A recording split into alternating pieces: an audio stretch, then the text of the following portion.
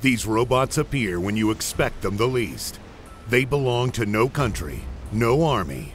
Their pilots happily take unwinnable fights just for the sake of turning them around. Invader, Blitz, and Rayker enter the battlefield.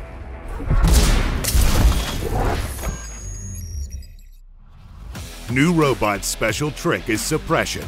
When suppressed, an enemy deals significantly less damage during a short time.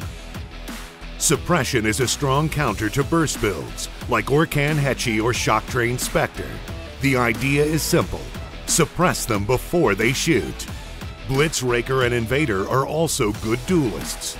By suppressing enemies, you create short periods where you are stronger. Utilize these power spikes wisely, and you will outplay almost anyone. Blitz, Rayker, and Invader fight very differently. Invader is an initiator with one medium and two light weapon slots. It also has lots of HP, which helps it survive under fire of multiple enemies. By using the ability, Invader jumps and plummets onto the ground, suppressing everyone around. If you manage to hit multiple robots, this alone can secure you an entire fight. Just make sure your team is ready to capitalize on your initiation. Blitz is a brawler with four light slots. Its ability has three components. First, it gives you a short speed burst. Then activates a temporary Aegis shield, giving you extra survivability. As it happens, Blitz emits a series of wide energy arcs, which suppress everything on your way. Landing this form of suppression on multiple enemies is much harder.